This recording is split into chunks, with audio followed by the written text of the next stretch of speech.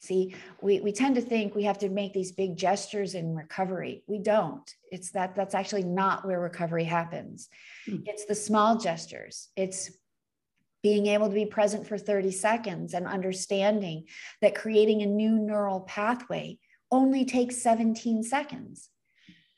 You can actually grow the field of perspective, grow the vastness of what you think you know, and begin to see that other ways of seeing are possible. To really have that mind body connection, to regulate emotions, to have methods for release and discharging release of the stress.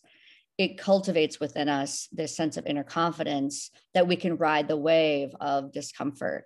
And I realized a child that doesn't feel like they matter to their parents will not stop loving their parents, they'll stop loving themselves those core beliefs that get developed in those early early stages they get you know imprinted on us they become part of our cognitive map and, and emotional makeup they can be changed over time but it's more much more difficult because they get ingrained. Betrayal is one of those things that that hurts so much because think about it we're not betrayed by people we don't know necessarily. These are the people we were the closest to so when the the person or the people we trust the mo- the most prove untrustworthy, who do we trust? When the ones we run to when other people are causing harm, when they're the ones causing the harm, where do we go? And I think the easiest way to build relationships on trust is to create independency between two people. What works is really two strong independent people working together.